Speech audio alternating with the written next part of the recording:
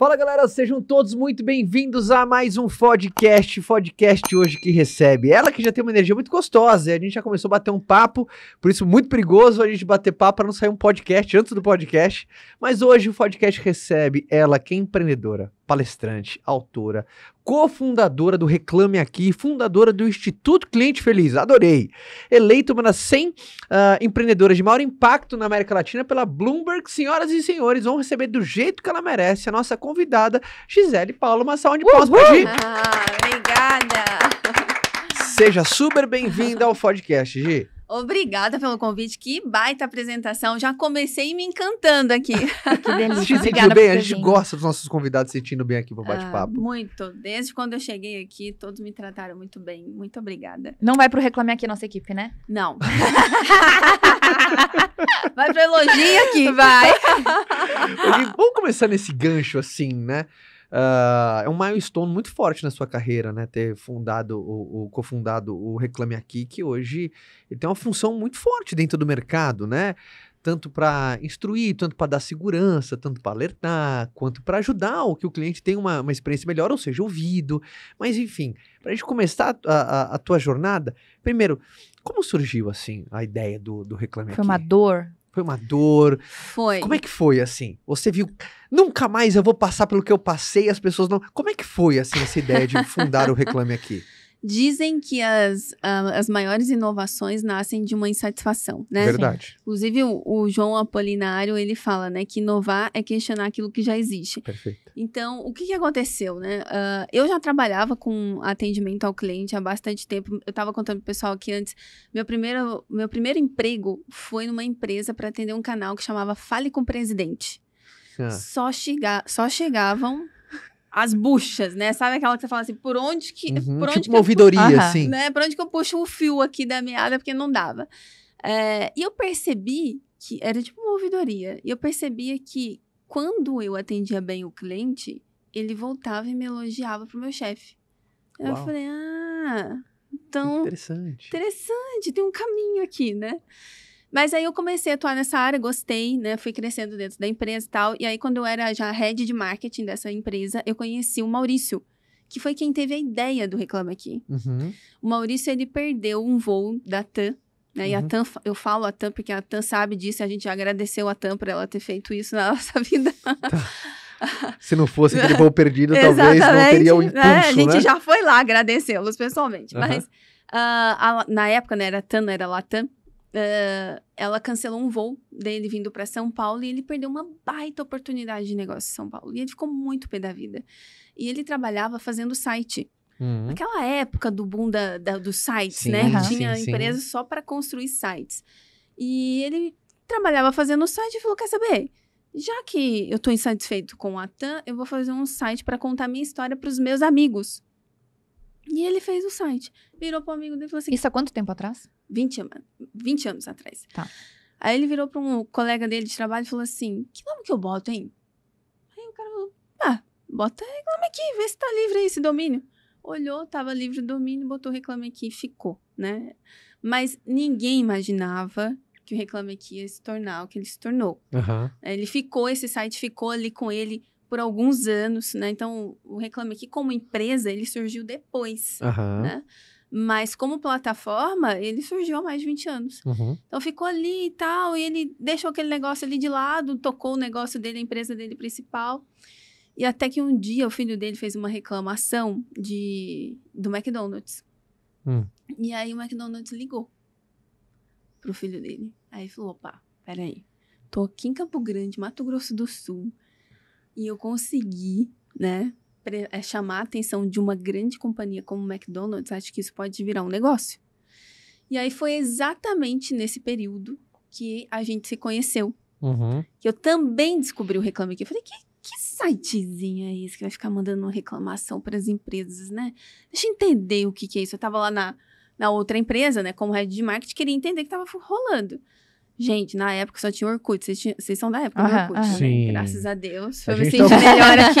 A gente já tá oxidado. E aí foi assim que tudo começou. Quando o Maurício me convidou, olha, eu entendo de tecnologia. Você entende de atendimento ao cliente. A gente pode unir essas duas frentes e fazer um negócio bacana. Transformar aquela informalidade até então num negócio estruturado, mais estruturada robusto. e tudo mais, né? Eu, vou- Perfeito. eu falei, sensacional isso, né? Então vamos, eu acreditava muito na ideia e começamos. Eu achei que fosse ser mais fácil, mas quando a gente começou foi aquele lance do, da briga do Uber com o táxi, foi Uhum. mais ou Sim. menos isso. Era o quebra-pau total com as empresas, né? Elas não aceitavam de jeito nenhum. Então foi assim que começou. Porque era, era uma coisa, eles pensavam que, pô, vou dar um canal direto para as pessoas falarem mal de mim. é. Era isso o pensamento. Essa era a Exatamente. resistência? Porque Em tese é, né? Olha, exatamente. Até hoje, né, tem empresas assim. Porque, pe- pensa só, 20 anos atrás só tinha Orkut, não tinha mídia social, né? Esse Uhum. lance das pessoas irem pra mídia social falar não existia. E aí chegou um site que fala assim: não, teu cliente pode vir aqui reclamar de você? E a empresa fala: o que, que, que, que é isso, né? Que bagunça é essa? Não, meu cliente, se ele quiser falar, ele vem falar comigo aqui, ó, no meu canal de atendimento. Então, as empresas, até um tempo atrás, elas detinham o poder da relação, né? Ah, e não muito tempo atrás, porque se você olhar o CDC tem 25 anos Uhum. É pouquíssimo tempo, né, de história de relação de consumo. Então, um pouco tempo para trás ainda era uma relação totalmente feudal, porque se você olhar eh, o significado da palavra cliente, é uma relação feudal, Sim. né? Então, isso foi mudando ao longo do tempo. Quando o Reclame Aqui chegou, a gente fala que ele chegou até um pouco cedo para aquele momento de mentalidade, né, das empresas. Então, a gente teve que quebrar realmente muitos paradigmas, assim, no início. Foi bem complicado. A minha percepção, Gi, vou te chamar de Gi que eu tô muito íntimo de você agora, tá? Estamos íntimos aqui. E aí, a minha percepção, eu vou, eu vou colocar a minha percepção como usuário e também a minha percepção como vendedor barra também marqueteiro nesta Aham. hora aqui. A minha percepção como usuário e também como farejando ah, ah, negócios, é, primeiro a minha percepção como usuário, o Reclame Aqui tem uma função, não, eu não sei, eu não sei quantas pessoas entram para reclamar, efetivamente, que é o- um grande canal ali, pô, Uhum. não fui bem atendido, me prometeram algo, não me entregaram. Eu com- entro mais pra ver quem já reclamou. Isso aí. e that's the point. Eu vejo muito mais um canal de você assegurar aquela confiança, aquela credibilidade, aquela como se fosse. É, como a palavra, agora me fugiu a palavra. Reputação. Reputação. É isso aí. Chega lá uma empresa verdinha, teve X reclamações todas ouvidas e resolvidas, carinha feliz, voltariam a fazer negócio, sim, voltaria a fazer. Porque não adianta querer esconder que você não vai ter desafio, bichão. Uhum. Vai ter um monte de cliente e não vai, nunca vai acontecer nada. Mas aquela, empresa- aquela empresa que se importa, pô, se eu Exato. tiver um desafio, vai ter alguém pra Essa me é uma das ouvir. coisas que eu acho mais importante. Não é achar que, qual- que ah, a empresa nunca vai ter reclamação, mas é o que a empresa faz com aquilo que chegou pra ela, né? Exatamente. Ainda mais quando você trabalha com grandes volumes. Por exemplo, Exato. dentro do Vendas a gente tem milhares de alunos, então você precisa de um ponto de Não, e assim, problemas vão acontecer, né? Toda empresa está sujeita. Outro dia viralizou um vídeo da, da Disney, né? Do, do casal que tava. Pedindo casamento. É, gente, a Disney, que pra mim é uma referência, né, em relacionamento com o cliente, ela falhou. Mas toda empresa pode falhar, porque são seres humanos. Então, o problema não é a questão, a questão é como a gente resolve. E lá no Reclame Aqui, de fato, 90% das pessoas que vão pra lá vão pesquisar a reputação. 90? Olha, eu tinha uma percepção que era a maioria, mas, mas achei É, que era. 90. Tanta maioria. Pra você ter ideia, no início do Reclame Aqui, a, a gente se posicionava lá atrás como plataforma de relação de consumo, né? Entre empresa e consumidor. Uhum. Quando foi mudando o comportamento das pessoas para elas começarem a acessar mais pesquisando do que reclamando, o posicionamento mudou. A gente passou a se tornar uma plataforma de reputação, Uhum. né? E foi, foi o que levou o Reclame Aqui onde ele chegou e é o que pressiona as empresas até hoje para responderem, né? A reputação Você delas. percebe que as pessoas chegam lá de, ah, já tive um problema, já vou lá direto? Ou acredita que são pessoas que tentaram contato com a empresa, tentaram resolver, não foram ouvidas e falaram, ah, então agora eu vou lá reclamar. tem de tudo. Tem o consumidor, que é aquele o seguinte, que tudo dele é pelo Reclame Aqui. Ele é, ele é fiel ao Reclame Aqui.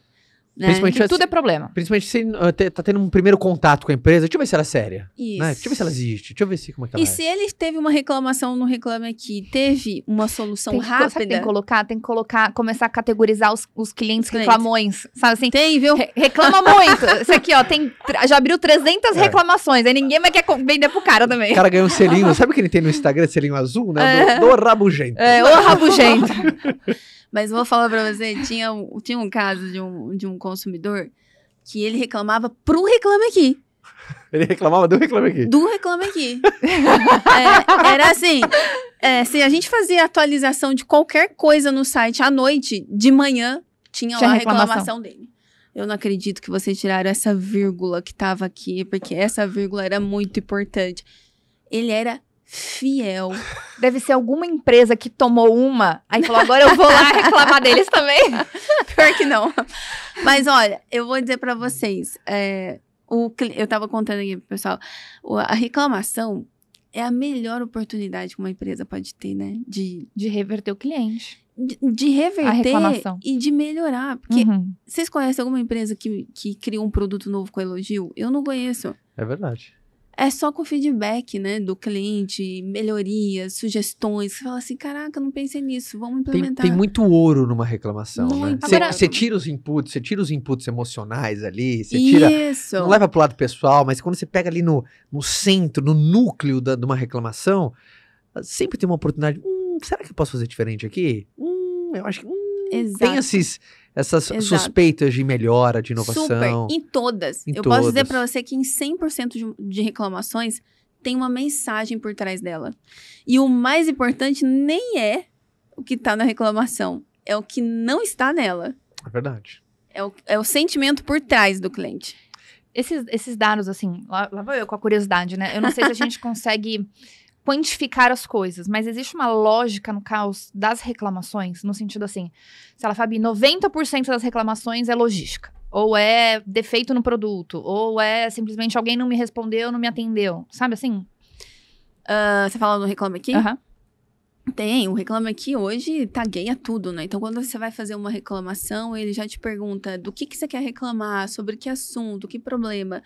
De modo geral, se você olhar assim, eu, eu não tenho esses números hoje para te falar, mas de modo geral, quando você começa a ler das reclamações, você percebe que tem muita falta de informação. né? Então, se as empresas comunicassem mais com seus Tá. clientes, elas teriam menos reclamações. Porque não quer dizer que a reclamação é sempre f- ah, infundada ou se o cliente tem sempre razão ali no, no que ele está Às vezes dizendo. é só uma expectativa desalinhada. Exato. No final, tudo parte da comunicação, não. Ruído na comunicação, no, no final das contas. Exato, cara. Né? Tem parte Muito, disso. E eu muito. gostei muito. Primeiro, eu amei o título do seu livro, Cliente Feliz dá Lucro. Porque é verdade. É. Livraço aqui da, da, da GIC, Cliente Feliz dá Lucro. Por sinal, acabou de gravar uma baita de uma aula pelo Bookme, já já vai estar disponível. E a- adorei. Primeira da editora, da nossa editora Buzz, maravilhosa. Maravilhosa, Meu né? grande amigo Anderson Cavalcante, sempre muito maravilhoso. Cliente Feliz da Lucro, com prefácio da Luísa Trajano, rapaz. Que é uma Poder. baita referência também, né? Sim. Quando a gente fala de atendimento ao cliente, essa mulher é uma das empresárias que mais levanta a bandeira, né, do cliente. Ela vai lá e atende o cliente, entrega a geladeira pro cliente. Sim, ela é bem humana, né? Assim, muito. Bem humana, muito. bem humana. Adoro a Luísa. E, e principalmente, ah, pegando o, teu, o, o título do teu livro, Cliente Feliz dá Lucro, ah, tem uma expressão sua que a gente, a gente sempre faz um diagnóstico, assim, uma coisa que você colocou e eu falei, cara, vou trazer para debater. Achei muito legal que você falou assim, cara, mais, mais perigoso do que o cliente que reclama é aquele que não fala nada. E eu queria, porque muita gente, por exemplo, tá ouvindo isso, não é óbvio ouvir isso. É uma coisa não óbvia, mas depois eu queria que você tirasse a cegueira por desatenção. Por que que, por que que você fala? Eu concordo, mas eu queria ver muito o teu ponto de vista. Pior do que o cliente que reclama é aquele que não diz nada. Cara, é, o que que acontece, né? O cliente que reclama. Imagina, imagina você, Fabi, você tá numa correria danada do seu dia, né? Você tem um problema, você para tudo que você tá fazendo para fazer aquela reclamação de ligar para resolver um problema. Você queria estar gastando seu tempo com outra coisa, Uhum, uhum. não reclamando para uma empresa. Então, o cliente que parou tudo que ele estava fazendo para fazer uma reclamação é um cliente que se importa É com a verdade. sua empresa, no mínimo. Né? Ele tem um problema, ele se importa com a relação que ele está tendo com você, no mínimo. Então, isso já é algo para a gente preservar, já é algo para a gente valorizar. Agora, o pior cliente é aquele que não tá nem aí. Ele, vem, ele simplesmente deixa de comprar, vai embora e não te dá a oportunidade de saber porque ele foi embora. O pior churn, né? É esse, é aquele que dá tchau, às vezes nem dá tchau, vai silenciosamente embora e você fica sem essa informação para poder atuar né, na causa raiz problema. daquele problema. É que se fosse nas relações humanas, a galera acha que o oposto de amor é raiva. Não. A raiva é o amor sentido ódio. É. né? É, é quando você tá com raiva É de alguém, indiferença. o oposto de amor, é, de amor é Perfeito. indiferença. Quando você nem liga mais pra alguém, significa que acabou qualquer tipo de relação. Você não tem Perfeito. sentimento, Não né? tem sentimento nenhum. E essa indiferença, né? Pior que o cliente reclama é aquele que é indiferente pra você. Não tá mais nem aí, não quer saber mais de nada. Ele simplesmente te esqueceu. Nem reclamar ele vai. Ele nem quer gastar o tempo dele. Ele fala assim: não vale a pena eu, eu parar tudo que eu tô fazendo pra falar com essa empresa. Indiferente. Exatamente isso. Perfeito. E, e eu- você deve receber muito essa pergunta. Não sei se eu recebo demais essa pergunta. Cliente tem sempre razão? Você recebe muito é isso ou não? Você recebe muito essa essa? é de praxe. Muito, né? Muito. Primeiro, quem que inventou essa expressão? É muito Cara, antigo, né? é muita. É porque tem um. Tem um. Acho que é uma loja nos Estados Unidos, né? Que ela cravou Bem americano isso, é, né? Cravou isso numa pedra, colocou na frente da loja, né? O cliente sempre tem razão, né? Não sei se surgiu de lá, mas no Brasil, assim, não tem um lugar que eu vou que não me perguntam sobre isso. E aí, qual que é a, res- a resposta Uhum. da cofundadora Reclame Aqui, do Instituto Cliente Feliz? De quem já leu muita reclamação na vida. Agora o Brasil pegou. já viu muito cliente insatisfeito. É, E aí, qual que é a tua visão disso? Cara, eu vou dizer pra vocês dois. é, eu, eu acredito que o cliente tem razões. Mais importante que saber se o cliente tem razão ou não é entender as razões, o que está por trás de Uhum. uma manifestação, o que está por trás de um feedback, de uma reclamação. Porque, no final das contas, o que eu quero saber é como eu posso melhorar. Como eu posso melhorar o meu negócio a partir do feedback do cliente. Se ele tem razão ou não, eu vou ver depois. Se eu vou fazer aquilo que ele está me pedindo ou não, eu vou ver depois. Mas fato é que se ele se importa comigo a ponto de vir me dar um feedback, eu tenho que valorizar isso.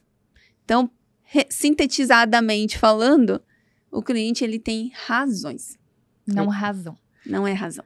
É, eu, eu gosto muito disso, porque quando você vai. é, aquela coisa, né? A grande sabedoria da vida, isso era Aris- Aristóteles. A grande sabedoria da vida é você encontrar o meio termo entre dois extremos. Primeiro, ninguém tem sempre razão em todas as coisas. Então, quando você generaliza, o cliente tem sempre razão. é perigoso. É muito perigoso, você vai para um campo do extremismo. Concordo. Então, por isso que a gente fala, mas eu também gosto muito da sua linha, é, o cliente tem sempre o direito de ser ouvido. Por exemplo, vo- você recebeu lá, tem- você tá lá no, no- na, você tem a tua, a tua conta no Reclame Aqui, e alguém escreveu alguma coisa, cara, não importa se você vai gostar ou não, se foi do jeito educado ou não foi, tem gente que você não precisa, é aquela coisa, o Cortella fala muito, corrige sem ofender, orienta sem humilhar. Tem gente que não sabe fazer isso, faz ao contrário, né? Corrige ofendendo, orienta humilhando. Mas enfim, não vamos entrar nessa, nessa ótica, mas ah, ouvir, ler, é preciso, por quê? Porque às vezes tem um fundamento de alguma coisa que você pode melhorar. Então eu também gosto dessa linha, que ele não tem sempre razões, ele tem razões. Eu acho que isso Ele deixa mais brando. É. você tira um pouco do extremismo, mas eu gosto de olhar essa ótica que, poxa, cara, a, a percepção de, de uma pessoa pode ser a percepção de uma outra pessoa também. Então, no mínimo, você tem que dar atenção. Eu me lembro que uma vez um empresário chegou pra mim e falou assim: tem alguma coisa errada no Reclame Aqui. Por quê? Todos os meus clientes que estão indo pra lá, eles estão fazendo reclamações infundadas. Cem- eu falei 100%? Ele falou 100%. Falei, então, então tem algum problema É realmente, né? Do que, que eles estão reclamando? Você conseguiu mapear dessas reclamações infundadas? Qual o principal motivo delas? Ele falou: ah, 90% é cláusula contratual. Eu falei, então tá aí. Você tem um problema para ser resolvido com suas cláusulas contratuais. Porque se 90% das pessoas não estão concordando com elas, tem algo que você precisa fazer. A, a gente fala que é uma lombada mal pintada no seu processo. Tá todo mundo tropeçando nessa lombada. Uhum. Uma linhazinha pequenininha que ninguém tá Perfeito. olhando. Aquelas letras miúdas que... Às vezes tá lá, Às vezes tá lá. mas ninguém tá vendo. E aí depois Talvez gera uma precisa informar melhor, Sim. né? Então, gosto, então gosto muito. Eu acho muito importante a gente sempre ter a importância do atendimento, né? Eu falo, no final das contas, você pode vender exatamente a mesma coisa que o seu concorrente. O produto final é exatamente a mesma coisa. Mas a forma como você fez o seu cliente se sentir durante o processo da compra até aquilo chegar e ter a, a utilização daquilo é o que faz total É o que diferença. faz a diferença. E é onde concordo. a maioria das empresas se perdem, porque quanto mais você cresce, mais você se desenvolve, como é que a gente duplica o atendimento? Por quê? Porque ele é pessoal, é uma pessoa que está fazendo. É, é um ser humano. É um ser humano que está fazendo. E eu vou te falar, é, eu vejo que o maior erro das companhias Ah. é o seguinte: o cliente vê uma empresa como uma coisa só, né? Ele não vê caixinhas, ele não vê departamentos, ele vê um grupo de pessoas que estão trabalhando para servi-lo. Robôs. Para servi-los. né? Ele- Você vai lá e compra um celular. Você acredita que lá na Apple tem uma turma de pessoas, né? Uhum. trabalhando para te oferecer o melhor celular. Uma coisa só. No entanto, dentro das empresas, como que a gente enxerga? Um monte de caixinhas. Tem a caixinha do comercial, tem a caixinha do marketing, tem a caixinha do atendimento. E aí eu cuido só da minha caixinha, né? Porque se eu entregar os indicadores da minha caixinha, tá tudo bem. Tô bem na fita, atinjo minhas metas. Mas a caixinha do outro, se o outro não entregar, a experiência que você falou do cliente de ponta a ponta, ela fica vulnerável. Porque num lugar ela vai estar bem, porque tem alguém entregando meta, cumprindo resultados, e na outra que não está entregando, vai cair, vai ter um decréscimo de experiência. Então é muito comum, né? Às vezes o cliente compra, ah, tem um processo de venda perfeito, maravilhoso. Aí vem o pós-venda e caga tudo. Você tá entendendo? Aham. Então, essa são, é, o problema está onde? Nas caixinhas. Então, quando a gente começa a olhar para o cliente é, como uma experiência, uma esteira né, de, de, de fora para dentro, ou seja, como ele vê, as coisas começam a mudar. Eu vou dizer para vocês que hoje, eu acho que, se vocês falarem para mim assim, qual é o maior problema das empresas não atenderem bem os clientes? São as caixinhas. Uhum. Por trás das caixinhas existem o quê? Os egos das pessoas É né, de um líder que não quer competir com o outro, que quer ser melhor que a outra área, ao invés da gente ser melhor como um todo para o cliente, né? Uhum. Você falando, eu, eu queria colocar 90% dos meus fornecedores da nossa obra do apartamento no Reclame Aqui, nesse momento. Você pesquisou Ah, antes de comprar. Ah. O... Tem uma. Uma. Uma. Tem gente que coloca marido no Reclame Aqui? Não, Não. mas tem muita gente que queria, viu? Brincadeira, amor, te amo. Você ia colocar eu no reclame aqui? Às vezes. Mentira. eu ia estar lá assim, 100% dos problemas resolvidos. Isso. Resolve, fazer sim, negócio. voltaria a fazer Voltaria a fazer negócio. negócio. E, e eu, eu gosto muito, A gente cai no mesmo golpe. né? Principalmente no cliente feliz dá lucro. ah, minha expertise, principalmente meu know-how em vendas, e mas e aí depois eu quero falar de onde você tirou esse título, mas ele é muito sugestivo pra mim é por, que cliente feliz dá lucro? Porque geralmente cliente feliz ele não volta, ele volta acompanhado, E ainda é, Perfeito. indica. aham. né? Ele traz Ele uma- recomenda. ele recomenda, ele, ele vira um vendedor da sua marca. Exatamente. Ele, ele soma teu time comercial. Ele, ele, vira um, ele vira um vendedor, defensor, ele veste a camisa, ele se esforça para poder continuar comprando a sua empresa e recomendando. Ele arruma briga, né? Por no isso, almoço por isso de domingo. por isso que cliente feliz ele dá lucro. Exatamente. É, Ele recomenda mais, ele compra mais, ele não vai embora. Se o teu produto não tá bom, ele perdoa o teu produto não tão bom assim, porque ele tem uma relação de confiança com a marca, né? Eu acho que esse é o status onde as marcas mais almejam estar, né? No momento em que elas se tornam amadas pelos seus clientes. E aí, para isso acontecer, o cliente tem que estar feliz.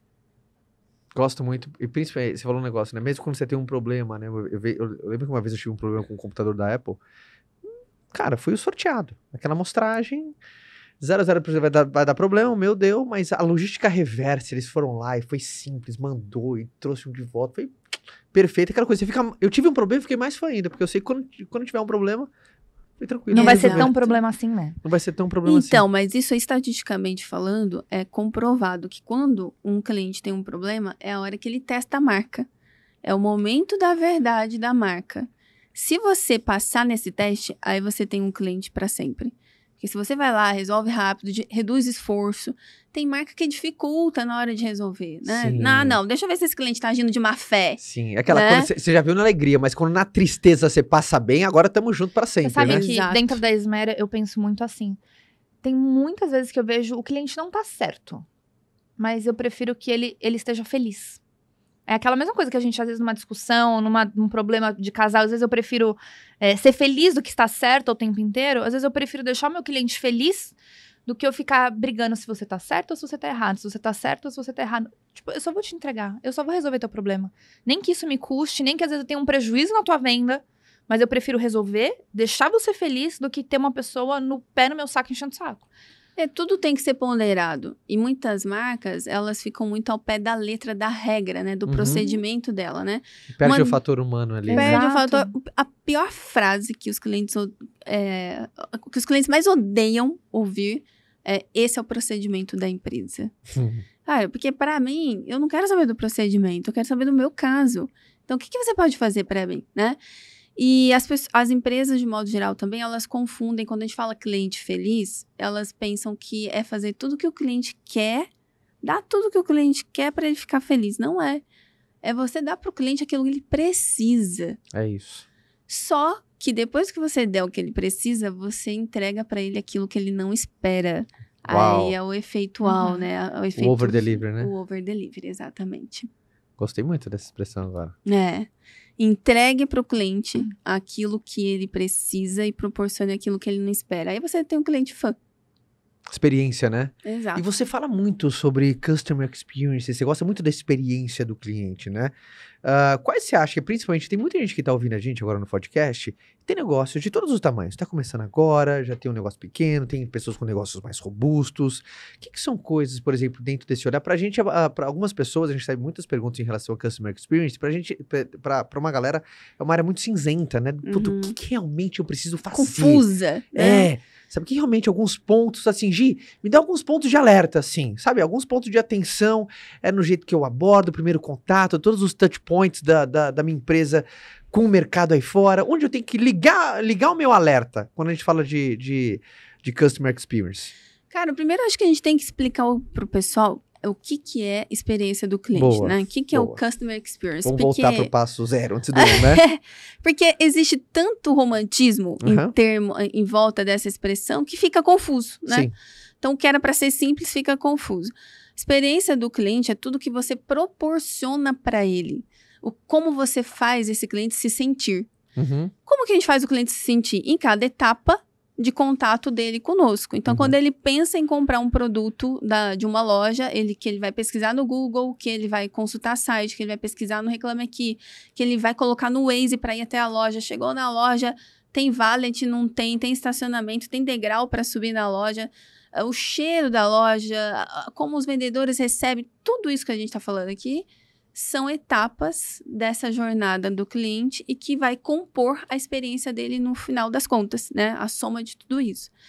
Então, se, se a gente entender que cada interação da marca com o cliente é um momento de experiência, eu posso fazer dessa interação uma, uma interação fantástica. Uhum. Só que não é sempre que a gente vai ter que encantar o cliente, porque ele também não, quer, não quer ser encantado toda hora, né? Senão a gente enjoa, né? Uhum. Encantamento é a cerejinha do bolo. Sim.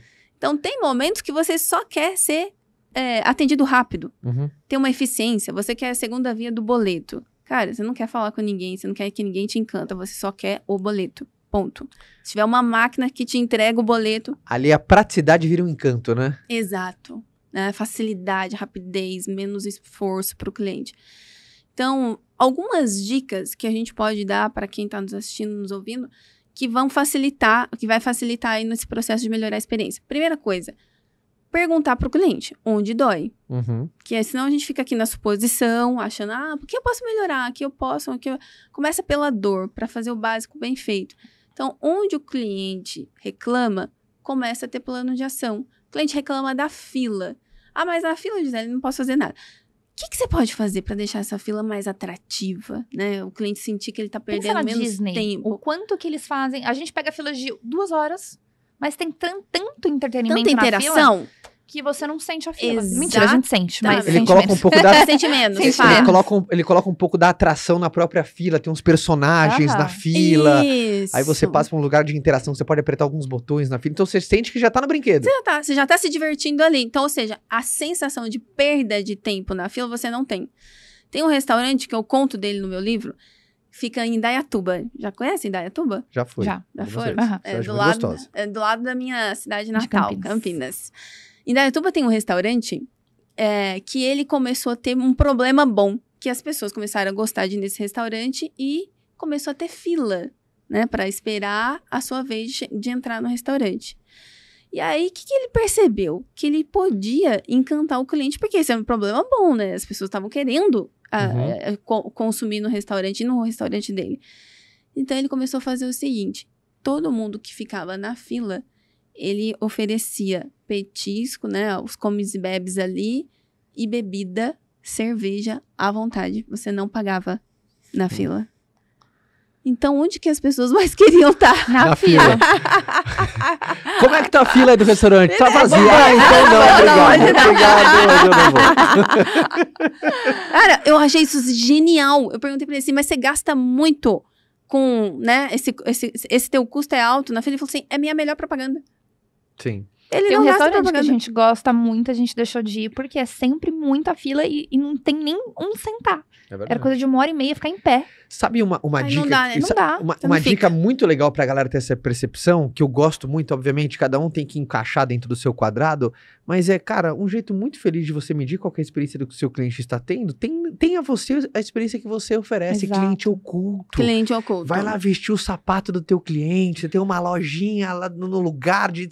Vai lá, faz o cliente. Você vai ser o cliente, desde a da jornada, onde você para o carro, se se- se o estacionamento é fácil, ou você numa. Uma, um- você tem um e-commerce, vai lá, você pega o teu cartão de crédito, entra você lá no site de um, de um computador novo, vê como é que é a praticidade para comprar. Isso é maravilhoso. Sabe, fazer, maravilhoso, fazer o fazer esse cliente caminho. oculto, você coloca o sapato. E tem várias Exato. coisas que são pequenos detalhes, que óbvio que não é que você vai pagar, você coloca isso dentro do preço. Eu adoro essa sensação, mas a percepção do cliente é muito diferenciada. Então, por exemplo, eu vou num salão pra fazer o cabelo que eles me cobram pelo, pelo comprimento do meu cabelo e pela grossura. Eu não conheço alguém que tenha mais cabelo que eu, de grossura, e meu, meu cabelo tá na bunda.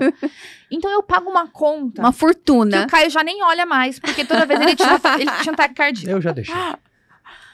Já não reclama mais disso. Não, reclame que zero. Aí, eu, aí começaram a cobrar estacionamento. E não cobrava. E eu falei, puta merda. Olha o quanto eu gasto disso aqui. Aí vem me cobrar 10 reais de estacionamento. Aí eu dei um feedback. Nunca mais cobraram estacionamento. E eu falei assim, mas não é besteira, é percepção. Então, por exemplo, uma vez eu fui numa consulta médica. E foi uma fábula a consulta, uma fábula. E eu acho que quando você tem alguns diferenciais em relação ao mercado, principalmente em relação a valor, né? Então, pô, o mercado pratica X de consulta médica, você pratica quatro vezes X o valor da consulta médica, é óbvio que que você espera que a consulta seja diferenciada, ser mas você espera excepcional. algumas coisas.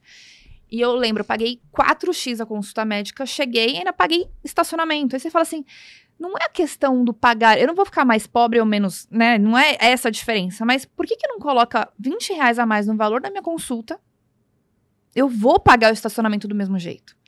Mas a minha percepção é, nossa, que gentileza. Serviço completo. Que serviço incrível. o- aham. Vim, tive uma consulta espetacular do começo ao fim. Eu juro por Deus, eu saí bicuda de pagar o raio dos 20 reais de Ou estacionamento. nesse caso, não é nem colocando, não. É você vendo que o seu diferencial, a sua precificação tá no encantamento, numa No excelência, serviço completo. numa gentileza. Por exemplo, dentro da Exato. Esmera. Vira- vira eu uma não cobro- gentileza eu não aquilo, cobro, não é? Eu não cobro frete, eu não cobro correio pra mandar minha Esmera. Aí você fala assim, pô, Fabi, mas comparado exatamente o valor, a pessoa comprou um negócio de 5 mil reais lá, eu vou cobrar 40 reais, 50 reais de frete? Não vou, de forma alguma. Isso não vai. Se a pessoa pagasse, não ia fazer a menor diferença pra ela ou pra mim.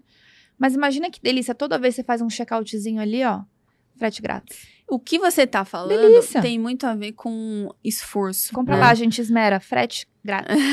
Não, e é interessante isso, né? Você, Essa tá demais, né, cara? Essa- você aumenta o valor do produto, inclui o valor do frete, mas entrega o frete grátis e aí o cliente fica feliz, né? É, assim, é uma estratégia incrível. Mas o que, que a gente está querendo dizer com isso? Esforço baixo. Uma pesquisa Esforço que baixo. foi feita em 2012 ah, com vários consumidores do mundo inteiro, identificou o quê? Que quanto maior o esforço do cliente, menor a chance dele voltar a comprar dessa empresa. Então, tudo que me dá trabalho, que me gera esforço, a fila que a gente falou, aí eu tenho que entrar no site para pegar a segunda via, aí eu tenho que mandar, eu tenho que ir lá assinar os documentos. Então, dica número dois para quem está nos assistindo aí, que é melhorar a experiência: diminui o esforço, Boa. reduz burocracia, Adoro, adoro, adoro, diminui o tempo adoro. do cliente. Tem gente que desconfia do cliente, aumenta a burocracia. 98% dos consumidores são de boa fé. E a gente faz processos e procedimentos dentro das empresas para os 2% de má fé. Quem paga a conta? os Os 98%. É, tudo é difícil e tu processo, por quê? Porque tem um cara lá, aí os outros E aí o de boa fé 99 paga. a burocracia e tempo e de- desafio. Gostei muito dessa E percepção. por que que os bancos Eu digitais, vou mandar por esse exemplo... corte dessa sua fala pra alguns lugares. Manda. Vou Ah, mandar. Só fica dica. indireta assim, ó. Por que, que os bancos digitais eles cresceram tão rapidamente? Porque eles reduziram a burocracia, Verdade. confiaram mais no cliente, reduziu o esforço. Imagina, né, você fazer tudo per- por um aplicativo, não se pensava nisso antes. Então, quando a gente reduz o esforço do cliente, a gente tem o cliente por mais tempo.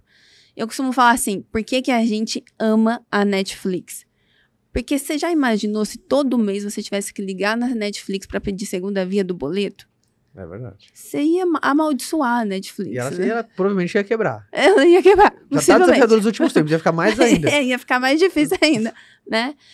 É, ou então você tem que ligar assim, o Netflix. Eu não tô achando aqui a série que eu tava assistindo, né? Sumiu aqui. No... Esforço alto. Então, toda empresa que a- reduz esforço tem o cliente mais feliz. Experiência mais gostosa. Experiência Dica mais leve, dois. mais Você tá fluida, contra, né? Tem, alguma, tem mais alguma que vem na sua cabeça? Muito boa essas duas. Essas duas muito boas, hein? Vamos falar de mais duas? Olha, Bora falar de que mais é isso, duas. mulher tá, tá carregada aí. Manda, manda. Vai fa- fazer serviço completo aqui, né? Boa. Entregar Ah, mais, né? entregar mais. Mas isso é ótimo, porque tudo auxilia as pessoas a venderem mais. É isso, né? A Luísa Helena falou uma coisa que eu acho fantástica. Ela fala assim: quando a gente atende bem o cliente, a gente gera mais emprego. É verdade. Porque a gente vende mais, a gente aumenta o PIB do país, né? Quando a gente atende bem. Então, terceira dica que a gente pode dar aí para quem está nos acompanhando é ter um atendimento rápido e resolutivo.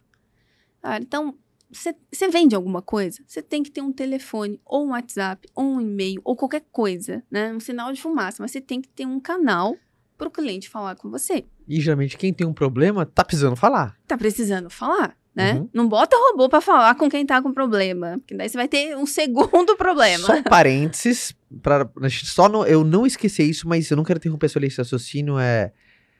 é, não, termina, mas senão Tá, vou te levar tá. você pra um, um mundo de Nárnia aí, depois vai lá, termina, termina. Então, assim, vamos ter um atendimento rápido, fácil, né? Que eu consiga falar rapidamente. Cara, melhor referência que a gente tem hoje de atendimento rápido e fácil é da Amazon. Você não liga na Amazon, você coloca o seu número, a Amazon faz um callback para o seu telefone. Quando toca o, seu, o teu telefone, tem uma atendente esperando você para falar com você. Você não passa por URA, você não digita seu CPF, você não fica rodando ali até achar Nossa, a opção isso é um 9. parto, cara. Sabe o que eu venho Cara, percebendo? Que as companhias aéreas cada vez mais vêm dificultando o acesso ao atendimento deles. Não só elas, né? Primeiro, você não acha, você não acha o telefone no site. Aí quando você acha, você liga, você tem que. Aí você erra o botão. Aí você erra o botão, não dá mais. Aí você tem que voltar, aí você tem que ligar de novo. A gente quis antecipar e eu vou falar. Gol foi terrível o que vocês fizeram com a gente. Quatro horas pra conseguir fazer. Eu tenho que fazer esse reclame aqui. Bota, Quatro bota lá. horas de atendimento no telefone pra Cara. resolver antecipar uma passagem. Bizarro, bizarro. Então agora você imagina, teu esforço altíssimo pra resolver esse problema. Quando falar o nome dessa companhia pra você, Arrepio. é Arrepio. isso. Eu gosto de voar, É que não é você que liga. é verdade. você só senta a bunda na cadeira. Como é que você enxerga, que você falou desse robô, como que você enxerga o mundo cada vez mais veloz, tendo palavras de otimização, escala, ganho de eficiência, com essa automatização em massa, assim, por exemplo, você ser atendido por um robô, como que você enxerga isso? Olha, eu, eu entendo assim que a tecnologia ela tem que vir pra nos tornar mais humanos, nos tornar mais próximo das pessoas. Uhum. ter uma relação melhor com as pessoas. Se ela for para nos distanciar, tem um problema grande. Então, o que, que as empresas ah, fazem normalmente? Elas contratam a tecnologia do robô, né, do bot, para reduzir custo e não com foco em melhorar a relação com o cliente. Perfeito. Já começou errado, porque daí eu não vou investir nesse bot, eu não vou retroalimentar esse bot, ele vai dar a resposta errada para o cliente. O cliente vai escrever, quero fazer uma reclamação. Ele vai falar, não entendi. Né? Então, Quero aí- fazer uma reclamação. É a segunda via do boleto? Não, que- aqui, né? Não entendi o que você tá falando. Sim. ele não só afasta o cliente, como ele não tem esse retorno financeiro de um cliente feliz, né? Exato. E aí, o maior problema está no retrabalho, porque esse cliente que passou pelo bot e, uma- e não conseguiu resolver o problema dele, ele tá pé da vida. Ele vai entrar em contato, porque ele ficar sem resolver o problema dele, ele não vai. Uhum. Então ele sai do bot e vai procurar outro canal. Ou seja, a empresa teve custo dobrado do bot e de um ser humano. Então não faz sentido. Então, o que é o ideal? Nós trabalharmos para que o bot traga para o cliente aquilo que ele precisa falar com o bot. Então, exemplo, o boleto que nós falamos. Cara, eu não quero falar com ninguém. Me entrega o bot, me, me entrega o boleto. boleto e tá ótimo Uhum. né? Eu gosto muito do iFood, né? O, o, o, Uhum. o, o Arnaldo, que é o head de experiência do cliente lá, ele fala o seguinte: fala, ó, aqui a gente entendeu do cliente os momentos que ele quer falar com a gente, e aí tem um ser humano falando com ele. E nos momentos que ele não quer falar com ninguém, ele só quer resolver o problema dele, tem o, o robô fazendo. Ele, é- que ele quer rapidez, nada é mais rápido que uma Olha, máquina, isso né? eu vou falar. Exatamente. É isso. Rappi e É iFood, eu compro muito o dia inteiro. Tudo eu faço lá, tudo. Sem, várias vezes me dá confusão, várias vezes me roubam os lanches das crianças. Várias vezes. Mas em dois minutos tá resolvido. É isso. É impressionante. Eficiência. E aí entra aquela terceira dica que a gente falou, né? Atendimento rápido, resolutivo. Não importa como você faz isso, mas se você resolver rápido, deixa o teu cliente mais feliz. E se depois que você fizer isso, você puder colocar uma cerejinha no bolo, fazer algo que o cliente não tá esperando, né? Que é o encantamento, é aquela coisa que você fala, cara, isso aqui eu não tava esperando. Você se sente abraçado, se sente acolhido, né? Ah, eu- o, primeiro capítulo do meu livro eu falo de empresas que abraçam. Hum. Empresas que abraçam é aquela que faz uma coisinha assim tão pequenininha, mas você fala assim, nossa, me senti Acolhida. acolhido, né? Às vezes é simplesmente chamar o cliente pelo nome. Às vezes é só pedir um... a- agradecer, na verdade, o cliente por ele ser cliente. Agradecer a confiança. Eu falo para os vendedores, né? Eu falo assim, gente, se você quer ter cliente, você só não, não tem que falar com o cliente só quando vai vender. Fala com o cliente depois que você vendeu. Ele vai trazer a sua próxima indicação, vai trazer a sua Perfeito. próxima Eu acho que a venda. pior coisa que uma empresa pode fazer por uma pessoa é tratá-la como um número. Eu falei pro Caio agora, a gente decidiu fazer uma mudança lá em algumas coisas dentro de casa e eu sinalizei que eu não ficaria mais com um determinado fornecedor que eu tenho. Mas assim, eu estava com esse fornecedor há quanto tempo? Ah, não sei. Sei lá, quatro anos seguidos. E uma fortuna, porque era mensal, nananã. Por alguns motivos a gente acha que não fazia mais sentido, a gente sinalizou. Mas não veio uma pergunta, assim. Aconteceu alguma coisa? Aquela do indiferença, não sei o quê. Hum. Podemos conversar? Tem alguma coisa que eu posso reverter? Zero. Ou seja, perdeu você, Não, e trata como um número. Tudo bem, é só mais um número. Tira, sabe, sai o número. E eu falei, agora que eu não volto mais mesmo. E ainda falo. A gente fala isso muito no Vende, por exemplo, que primeiro, o maior erro da galera em pós-venda é, é que no- 90% da galera que erra em pós-venda é porque não tem um pós-venda estruturado. Ele tem Perfeito. estrutura até vender, depois que vendeu. Por isso que, até- às vezes, que- qual que é o efeito colateral no mundo real, isso pra gente? É aquela empresa que trata super bem naquele processo de namoro, tá negociando e tal, e depois que compra, Aham. é Muda. isso. sumiu. parece que é outra empresa, mas não fala mais com você, a atenção não é mais a mesma. Eu falo, nossa, era legal, agora não é. Mas o que aconteceu? Porque não tem esse- essa estruturação depois que você passa o cartão, manda o Pix, eh, deposita o dinheiro, compra, dá ok no pedido. Parece que acabou ali, né? Parece você que tá acabou ali. começando e pra ela acabou. Por isso, é só um número. Exato. Ela só quer o número Faltou da a venda. etapa da entrega. Que pra você vai começar a sua experiência de entrega a partir dali, pra pessoa acabou a experiência de compra. Acabou na compra, pra você ainda tem a etapa da entrega. Então fica esse- essa disfunção. Mas falou uma coisa muito legal agora, que muita gente acha perda de tempo falar com o cliente e não oferecer nada. Não fazer nenhum call to action, não vender É. nada. Se relacionar. Cara, vender vínculo, vai se relacionar. Eu acho, eu acho fundamental, fundamental. Quando você. Eu, eu falo muito pro time aqui. É importante a gente aprender a sempre escalar as coisas que são menos escaláveis. O que, que são menos escaláveis? Dá um bom dia, É o detalhe. é o detalhinho. É o detalhe. O arrozinho, o arroz com feijão bem feito. Bem feito. Então isso E, e- resolve e- muita e se coisa. você escalar isso, é o que ninguém tá fazendo, porque não é escalável. É verdade. Então, quando você faz, já se diferencia no Uhum. mercado, né? Eu, eu, eu, eu vi tantas empresas, gente, assim, perdendo clientes, aumentando churn, né? aumentando cancelamento, simplesmente porque não tinha esse detalhe, não olhava para essas coisas tão simples. Você pega, por exemplo, a gente não tá falando de pequena empresa também, não, a gente pega grandes empresas. Concessionária, né?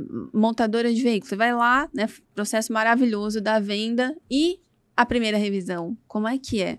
Hum. Então, quando a gente olha a jornada do cliente de, de, de, de fora para dentro, de maneira estruturada, você vê que para o cliente é uma coisa só, né? Então, o momento da venda é importante, a entrega do carro é importante. E a primeira revisão é muito importante, tanto quanto a venda. Então, a gente tem que mapear essa primeira revisão, fazer uma experiência incrível, deixar esse cliente encantado, sair de boca aberta, porque é isso que vai fazer ele comprar de novo com a gente. É como se fosse a primeira vez que vamos sair juntos, né? Exato, né? E esse lance da venda que você trouxe é muito verdade. Eu no Reclame Aqui, a gente lidava com venda B2B, né? Sim. Então, o time de vendas respondia para mim. Nós tínhamos uma equipe interessante lá de uh, algum. A gente, a gente estruturou, né, máquina de vendas. Então, a gente tinha é, vendas enterprise, vendas para pequenas e médias empresas. Eu vou falar para você. Uma coisa que eu vi nesses últimos 10 anos é que a gente não vende para uma empresa, você vende para outra pessoa. né? Exato. É, então, é uma pessoa comprando de outra pessoa. Se a gente não falar de relacionamento aqui, é que Na verdade, no final- acho que é, é, no é final é, frase- tudo P2P. É, é people to people. Person Perfeito. to person. No final é sempre uma pessoa vendendo para uma outra pessoa. Mas eu acho que é o que mais você fala, que é a questão do se importar. É de fato você realmente se importar. É óbvio que aquele número é importante, ó- é óbvio que aquela venda é importante, é óbvio que aquele número para dentro do seu negócio é importante. Mas você de fato se importar com quem tá do outro lado, com quem tá sentado do outro lado da mesa. Isso, É isso. isso. é uma coisa que a gente bate porque, principalmente, a gente, de uma, dentro de uma unidade nossa que é vendas, que a gente ensina as pessoas o processo de vendas, é uma coisa que eu deixo, eu sempre faço esse disclaimer muito rápido, assim, falando, principalmente quando são as minhas aulas. Falo assim, turma, eu posso te ensinar tudo, menos se importar. Perfeito. Se importar aí é, é contigo. Como que eu vou... Uma aula prática de se importa. É muito mais os seus princípios, os seus valores, o quanto realmente você quer fazer a diferença, o quanto você acredita. Se você não acredita naquilo que você faz, naturalmente você se importa um pouco menos com o que você está fazendo. Porque se nem você acredita, imagina a sua dedicação em cima daquilo. Não vai, não vai dar Não certo, vai. não vai dar bom. Mas eu tenho uma pergunta interessante. Existe alguma relação, alguma correlação entre reclamação e insatisfação do cliente? Ou não tem isso direto? Assim, Insatisfação ou satisfação? é, por exemplo, quanto mais reclamação significa que a empresa é menos ou, ou não tem essa, essa não, ligação direta? Não tem uma relação direta. É claro que empresas, Porque né? tem empresas com muitas reclamações e uma nota muito boa. Sim. Eu reclamo aqui não é, né? Não sei. Não. A quantidade não está relacionada à satisfação. Por quê? Quanto mais você vende, Maior a chance de, das reclamações. mais dificuldades você vai ter ali. Por exemplo, login senha, né? Por exemplo, um curso. Quanto mais você vende, mais problemas você vai ter de login senha, Sim, é e-mail que foi para spam, etc, etc. Então, isso é normal. O mais importante é quando a gente lida com a situação bem, né? Por isso que no próprio Reclame Aqui, o que conta não é a quantidade, é o quanto você resolve bem o problema. E quando a gente leva isso para dentro da empresa, né? Olhando o perfil das pessoas, né? ah, se você tá bem, se você não tá bem, isso, isso influencia muito. Eu, eu, gosto de falar, eu gosto de acreditar, e eu falo disso também, que o colaborador feliz, ele dá lucro. Verdade. Então, se a gente não tiver pessoas que gostam de gente lidando com gente, já cometemos o primeiro grande erro da relação, né? Uhum. Segundo grande erro, se a gente não treinar essas pessoas, se não tratá-las bem. Boa. É, se eu quero que o meu cliente fique feliz, primeiro eu tenho que deixar o meu colaborador feliz. Seu Uhum. colaborador, na real, seu primeiro cliente. Meu primeiro cliente, né? Se ele não acreditar na missão, no produto, nos valores, no caminho, na avenida de crescimento, no propósito, Não, até o ambiente que você proporciona para a pessoa trabalhar. A conta não fecha, Caio. fecha. Não fecha. Se você não tratar bem as pessoas, elas não vão tratar bem os seus clientes. Eu lembro uma vez, tava numa empresa, eu Hum. fiquei chocada. Eu vi essa cena, né? Das pessoas saindo para comprar água, porque elas não tinham água para tomar dentro da empresa. sério. A água estava contaminada. Caraca. Como é que você fala para essa pessoa encantar o cliente na linha? Não tem como. Ela não, ela não dá aquilo que ela não tem. Então, se a gente não tratar bem, desde o bem-estar, né, o cuidado dessas pessoas, tem uma mesa decente para trabalhar, uma cadeira decente. Se ela senta numa cadeira que dá dor nas costas nela o dia inteiro, na hora que o cliente chiar com ela a primeira vez, Vai Ela- tomar de volta. não vai ter essa paciência para falar com o cliente, né? Então, a gente tem que nutrir essas relações, a gente tem que nutrir esses seres humanos. Ah, o primeiro cliente da vida é a gente mesmo, a gente tem que estar bem. E depois os nossos colaboradores. Porque se eles não estiverem bem, a gente não vai conseguir fazer essa roda girar dentro de uma empresa, o cliente não vai ficar feliz e tudo mais, né? E eu acho que também uma coisa importante, confiar no colaborador. Assim como a gente falou aqui que a gente tem que confiar no cliente, confiar no colaborador é tão importante quanto, sabe, aquela relação de chefe, o que você tá fazendo? Não, já Sim, começou? sim. Não, o que você tá... Cara, isso não roda, né? É, quando eu atendi o canal Fale com o Presidente, vou contar uma história pra vocês. Ah, É. Você deve ter vindo boas nessa, Vixe, né? tenho muitas. É, quando eu atendi esse canal Fale com o Presidente, chegou uma reclamação de uma, de uma mulher que ela tinha passado por todos os canais de atendimento e não deu certo. E ela chegou no presidente. E só um parêntese, quando que você levava pro presidente? Ele recebia todas. Ah, ele recebia todas? Eu, ele recebia e eu recebia cópia. Porque ia pra ele. Você não fazia nenhum filtro. Não. Se você tomava, ele tomava também. E tu- os dois juntos. Tá bom, Né? gosto. E a- é super transparente. E tinha casos que ele falava assim: não, esse daqui você pode deixar que eu respondo. Uau, boa. Ele falava. Presidente Raiz. Presidente, presidente Sim. raiz. E aí, essa mulher falou que já tinha passado em todos os lugares, já tinha ido na filial, já tinha falado. Ah, e chegou no presidente. Eu liguei pra ela. Eu fiquei mais ou menos uns 45 minutos com ela no telefone. E conversei, conversei. No final, a mulher tava feliz. Dei uma solução pra ela, falei as tratativas que a gente ia dar na sequência e falei: olha, agora eu vou formalizar pra você por e-mail tudo que a gente tá conversando, beleza? Beleza, muito obrigada. Gente, vocês não vão acreditar. Enquanto eu tava escrevendo o e-mail, chegou outro e-mail dela.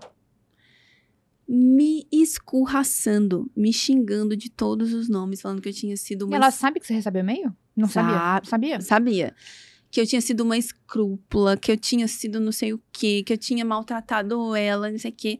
Na hora, meu telefone tocou, né? O presidente. Gisele, o que aconteceu com esse caso? Eu falei, pra te falar a verdade, eu não tô entendendo essa mulher. Por quê? Eu fiz isso, isso, isso, isso, tô escrevendo e-mail pra ela, ela mandou esse e-mail. De verdade, eu acho que ela tem algum problema. De verdade, porque tem, né? Uhum. Clientes que têm algum, Aham, tem uma distorção. aham, Minoria, mas tem. aham. Ele falou, então tá bom. Então eu vou responder pra ela agora. Eu- e aí, né, eu na época, gente, eu era na lista de ouvidoria, morrendo de medo do que, que esse meu chefe ia falar, né? E aí ele respondeu falando assim, olha, resumidamente, o que ele disse no e-mail pra ela foi o seguinte, falou, olha, se você não confia na equipe que eu confio, que lida diretamente com os problemas que chegam pra mim, que eu acompanho diretamente, eu acho que nós não estamos preparados pra ter uma relação com você. Então, a minha recomendação é a gente encerrar essa relação. Nós vamos devolver todos os valores que você já pagou. E aí você vai procurar uma empresa onde você confie nas pessoas para se relacionar. Muito legal. Nunca mais Chegou o e-mail dessa mulher. essa mulher voltou. Então, saber dizer não também é muito Sim. importante. Tem hora, e isso que é legal pra eu acho que tirar um, um piano das costas de muita gente. Tem cliente que a gente precisa demitir. Tem. Exato. Que foi essa mulher, né? Tem Ele cliente que precisa demitir. assinou a Não carta tem de jeito, demissão dela. Não tem jeito. Tem cliente que, cara, tira você do eixo, tira você do sério. É, que tem que Mas e demitir. posso falar? que- Eu vou falar por E- experiência. E na verdade não é só você, provavelmente porque é o ser humano. O jeito que você faz uma coisa, é o jeito que você faz qualquer outra coisa. Por exemplo, você vai querer ser sócio de alguém, de um amigo seu que você sabe que faz umas coisas por baixo do pano? Não, porque você fala, pô, se Não, esse cara faz umas é, coisas erradas ali, ele vai fazer errado comigo também. Então, muito provavelmente essa pessoa também trata mal Não, outros seres em humanos. Só muda os e- e papéis. É Só muda o papel. Tudo com essas pessoas dá errado. Absolutamente tudo. Exatamente. Tudo, tudo. Assim, quando a pessoa já começa comprando, reclamando, é assim, até o- parece que tudo é, vem a energia da pessoa despejada na- naquilo que ela Eu tá comprando, vai nisso, dando viu? problema até o final, até o é impressionante. tudo dá Impressionante. errado. Tudo dá errado. Tudo Não, dá e, errado. e às Tudo vezes, e às vezes até um favor que você faz pro próprio cliente, você demitir ele. É, é. Você sabe que eu tenho um cliente é, que eu, de- eu demiti essa cliente. Por quê? Mas é muito importante falar isso, porque tem gente que tá, cara, É. E você tá carregando uma geladeira nas Não, não costas por faça alguém que tá te fazendo não mal, uma relação isso. comercial. Que, é aquela relação comercial que, cara, às vezes esse, entre aspas, esse lucro que você tá tendo não, tá tendo, paga vale a a tua pena, sanidade, né? não, Não paga o paga. teu sono, não paga a tua tranquilidade, não paga sabe, o teu bem-estar físico, Perfeito, emocional. Caio. Eu acho Eu- muito importante falar isso. Eu acho cara. que é importante a gente tirar esse peso, assim, Sim. né? Porque a gente fala de cliente feliz, cliente feliz, mas espera, né? É, tem que ser uma coisa saudável, né? Tem que ser feliz para todo mundo. tem que ser uma relação ganha-ganha, né? Esse, esse feliz tem que ser bom para todo mundo. Então, em alguns momentos, os clientes precisam, né? Ter um basta. É, Só que o um, maior diferencial está em como você faz esse basta. verdade. Tem que ser um basta elegante, né? Tem que ser um não com elegância, com respeito, explicando o porquê. Quando eu dou treinamento para atendentes, né? Eu falo assim, galera, a melhor forma de você falar não para o cliente é começando explicando o, é começar explicando o porquê. Depois, por último, você vai falar o não. Então, explica o processo. Por que, que você não vai conseguir chegar lá? E aí, no final, você fala assim, por conta disso, não conseguimos atender o teu pedido, né? Eu tenho uma cliente que ela comprou o software na época que nós vendíamos um CRM e ela achou que esse CRM ia entregar um resultado para ela. E a gente tentou de todas as formas mesmo compor ali uma, uma funcionalidades e tal para entregar aquele resultado que ela esperava. Mas chegou um momento que estava muito longe, né? Ela estava indo para a esquerda e o software, o desenvolvimento do software estava indo para a direita. A gente percebeu que não ia, não ia nunca deixar essa cliente feliz. Então, eu fui muito transparente com ela. Falei, olha, nós falhamos, a gente vendeu para você uma coisa que não deveria, né? A gente achou que poderia te atender, trazendo recursos, funcionalidades, não tá legal. Então, vamos ficar bem? Você vai encontrar uma plataforma que vai te atender. Nós vamos seguir com, o, com outro direcionamento desse CRM. Vamos devolver todo, É tudo que você honesto. pagou. É honesto. Sabe o que aconteceu com essa cliente? Para todo lugar que ela ia, ela me indicava. O cliente que eu demiti, porque eu fui honesta, eu fui transparente. Não adianta querer carregar um, piano nas costas sem compartilhar com o cliente. É, e quando você fala a verdade, às vezes você não colocando. Porque tem muita gente que demite o cliente colocando eh, toda a culpa nele. Nele, exato. E aí, cara, quem gosta de levar toda a culpa pra casa? Ninguém. Ninguém gosta de levar toda a culpa pra casa. Ó, Exato. eu não vou te atender porque você é assim, você é assado, você é isso, você é aquilo, e nós aqui não. Provavelmente você, você pode arrumar um inimigo a partir dali também, né? Mas o, vo- você fala do teu momento. Você não tem, o, às vezes não tem o fit, não tem a química, e tá tudo bem. Você tem a, a tua parcela também nisso, e eu acho que deixa muito. é, Porque no final das contas, o teu cliente, a tua relação, você tem uma relação com ele comercial. É. Mas é uma relação. É uma relação. É igual casamento. Casamento ninguém casa E sozinho, você né? não precisa amaldiçoar o Uhum, outro uhum. pra justificar que você não quer mais uma relação. Tem gente que é assim, né? É. Por exemplo, vai se divorciar do marido ou da mulher, tem que amaldiçoar o outro lado. Ele tem que virar um problema. É, tem que amaldiçoar porque parece que tira um pouco do peso de eu estar Da indo sua decisão. da sua decisão. É. Não, cara, você não precisa amaldiçoar ninguém. Joga no fair play, cara. Transparência. É, transparência. Não faz fit, Transparência. não quero, enfim, e pronto, acabou. E é impressionante como a transparência gera uma relação de credibilidade, né? Total. De confiança. Que é nessa hora que você vê o caráter também da empresa que você tá Exato. negociando, da pessoa que você tá negociando. Exato. São momentos mais, mais Sensíveis. Sensíveis né? que o caráter você é- vê quem é e com quem você está fazendo o negócio. Né? Não é no momento da entrega, né? O momento da entrega é muito feliz. O momento do problema, por isso que a gente volta de novo na reclamação, né? O momento do problema é onde você pode demonstrar o teu caráter, quem você é de verdade, né? Como é que você lida com os problemas, com as coisas, né? Ah, você acha que hoje. Acha não, né? É uma coisa. Enfim. ah, as redes sociais, elas, elas, elas ganharam um. Como que você vê? As redes sociais eh, versus lugar de reclamação. Porque tem muita gente que a, a mídia, a mídia social da empresa virou reclame aqui ali. É. E como que lidar com isso daí? Com você tem que ensinar o lugar certo, porque, sabe, existe lugar pra gente conversar sobre algumas coisas, existe lugar pra conversar sobre outras coisas. Como principalmente pra quem tem negócios que se posicionam de maneira online, como ah, educar o cliente a falar, estou aqui, mas saber, ó, não é aqui que você tem que falar isso aqui, é em outro lugar. Conseguiu pegar um pouco dessa Ah, minha pergunta? É, primeiro, você tem que estruturar um processo para aquilo que você não consegue controlar. Tá. Porque, embora a gente possa combinar o jogo com o cliente, vai ter cliente que vai furar esse jogo. Aham, Quando ele furar, você precisa ter um processo para atender esse que for direto lá. aham. E você pode combinar um jogo com o cliente. Então, por exemplo, mídia social, né? Você pega ali o Instagram, o Facebook, você pode combinar um jogo. O horário que você atende, ah, em, que, em que lugar você atende, se é no direct, se é no comentário, né? Você pode estabelecer uma política de atendimento e colocar isso exposto. Eu, eu recomendo isso É para as educação, marcas. é educar o cliente. né? Educação, Fábio, falou tudo. Então, o, o combinado nunca sai caro. Combina o jogo com o teu cliente. Ó, eu atendo aqui, mas funciona assim, né? Vai ter cliente que vai atender o seu pedido? Vai. Vai ter cliente que vai furar. O cliente que vai furar, você estabeleceu um processo. Então, tem uma ferramenta de monitoramento Uhum. para monitorar o que está acontecendo, classificar isso, né? Hoje tem ferramentas tão fantásticas que você consegue, pelas palavras, saber se é um caso de crise que vai dar problema, protocolo vermelho que a gente chama, né? Telefone vermelho tocando, e quando é um caso tranquilo. Então você faz esses, essas triagens e vai direcionar esse caso para um atendimento, alguém que vai estar lá atendendo esses clientes que forem que fugirem da curva. E o caso que você combinar com ele, você sempre está confirmando com ele, ó, muito obrigada, agradecendo, obrigado por você ter procurado esse canal, né? Reforçar com ele aquele canal, a decisão que ele teve ali. E, e eu acho que uma contribuição que eu posso dar com a galera que, enfim, a nossa expertise também, quanto mais. Sim, no Vende funciona muito isso. A gente trabalha com muito volume, assim, muitos alunos, mas quanto mais fácil e acessível for o canal de comunicação, menos ele vai ficar gritando socorro por todos os cantos. Exato. Então, quando você tem um canal claro de comunicação, você tem um canal fácil, você tem um canal acessível, não precisa ficar gritando em todos os lugares. Que se o teu cliente ele, ele manda e-mail para você, manda nas redes sociais, manda no lugar, manda no lugar, é porque você não tem eficiência ou não é claro.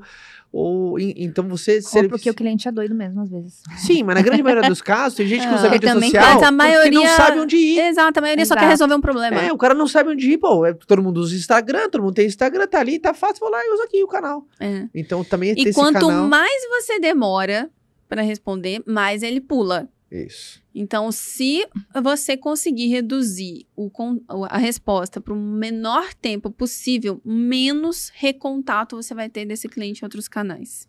Né? Que é aquela clássica, às vezes uma, uma reclamação tá em oito lugares diferentes. Muito. Nossa, é Acontece lugar- isso não, demais. É a mesma pessoa em oito novos lugares.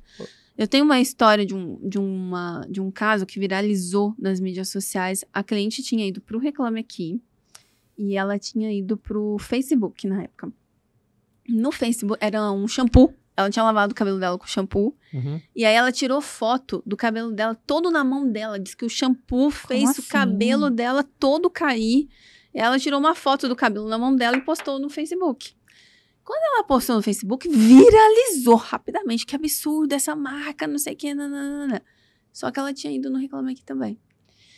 Quem estava atendendo o caso no Reclame Aqui não sabia Do Facebook. do Facebook não se conversar. Por isso que é importante ter uma ferramenta única. A pessoa do, face, do Reclame Aqui tentou falar com ela no telefone, não conseguiu, colocou uma resposta padrão. Falou, olha, qualquer coisa entre em contato conosco. E o caso pipocando lá no Facebook. Viralizou mais ainda o problema dela. Você entende? Então, às vezes, dá mais trabalho você descentralizar do que você ter uma informação única. Quanto mais claro for para o cliente, melhor. Perfeito. Clareza nessa hora. né? Clareza. Adorei o papo, hein? Muito Cara, bom. que aula. Que aula. Uma salva de palmas, senhoras e senhores. Uma salva de palmas para a Gi. Já acabou? Ufa, passa rápido aqui, passa né? rápido, né? Passa, não passa? Bom demais Aqui é legal, aqui, não é legal gente. aqui? Pô, sensacional. e vocês dois são foda mesmo, né? Ah, imagina, Obrigada imagina. por ter vindo. Pra galera estar mais pertinho de você, acompanhar seu trabalho, como que faz pra as pessoas te acompanharem na rede social? Pra dar elogio, não pra reclamar, tá? Pode reclamar também, que eu amo reclamação. Hein? Como é que faz pra estar mais pertinho de você? Ah, meu Instagram, Isso. arroba Gisele Paula. Tá. né? Respondo. Sim, tá lá respondo, presente. tô ali 100%. E o LinkedIn também, Gisele Paula. E o livro, né? O pessoal tem uma... ah, assim, o livro ele é uma jornada do que uma empresa precisa fazer para deixar o cliente mais feliz. Gente, pela editora Buzz, cliente feliz dá lucro. Enfim, Tá se é da. Buzz, eu sei que em qualquer grande livraria, qualquer Tá lá. rede vai estar lá. A distribuição da Buzz é fera. Só que colocar cliente feliz dá lucro da Gisele Paula pela editora Buzz, a nossa grande amiga, parceira. Então, Gi, obrigado, cara. Obrigado pelo convite. Obrigada. Continua ensinando a Obrigada turma. pela presença, amor. É, é aceitar o nosso convite. Faltou uma palavra, tá? Aceitar o nosso convite estar aqui no podcast, falando de um tema tão legal, tão bacana E importante. e muito importante. Ah, então, continuo sempre brilhando, ajudando esse Brasilzão a ter gente feliz, gente satisfeita, aí. gente contente. Obrigada. E ajudar as pessoas do outro lado a fazerem clientes mais felizes, que dá muito lucro, é um dever social. Exatamente. Gerar mais emprego, mais vendas, mais PIB para o Brasil, né? Fazer esse país crescer Isso aí. através do cliente feliz, né? Gente, muito obrigada. Adorei A estar aqui que com agradece. vocês. E uma honra. E que a gente siga aqui, né? Vamos Com essa missão. Vamos Vambora. embora. Turma, lembrando que o podcast é sempre segunda-feira, no comecinho da manhã, às seis da manhã. Ah, e no nosso YouTube, sempre ao meio-dia, o episódio ah, aqui. eh, você consegue ver as imagens, você consegue ver os cortes, você consegue ver a rainha comendo Ai, aqui, gente. que ela não para de comer.